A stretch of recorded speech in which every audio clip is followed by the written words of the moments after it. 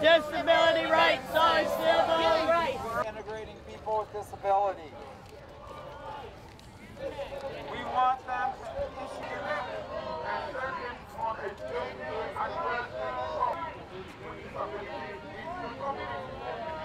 Well, we're here uh, to protest uh, the Obama administration's complete disregard for the rights of people with disabilities to live in our own homes and communities.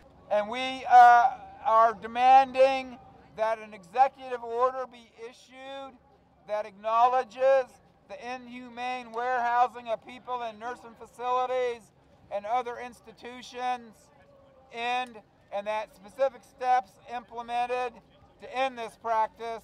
It's, it's particularly aggravating in, in uh, light of the recent very strong statements in support of the rights of people that are gay, lesbian, uh, and transgender, which we support. That's great.